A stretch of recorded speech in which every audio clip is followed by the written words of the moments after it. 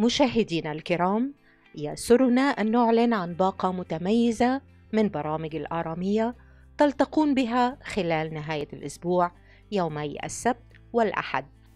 يوم السبت تلتقون مع مناظرة بين كل من الدكتورة وفاء سلطان والشيخ عمر بكري. عنوان المناظرة هل لغير المسلمين حقوق في ظل الشريعة الإسلامية؟ كما تلتقون أيضا مع حلقة من برنامج النور أم الظلام. بعنوان الجنة والجحيم كما تلتقون مع الدكتور باسم غوريال وحلقة من برنامج خبز اليوم. الحلقة بعنوان نكران الذات وحمل الصليب كما تلتقون وحلقة من برنامج نرنم لك مع الأخ وسام وباقة من الخدام في الأوقات الظاهرة على الشاشة.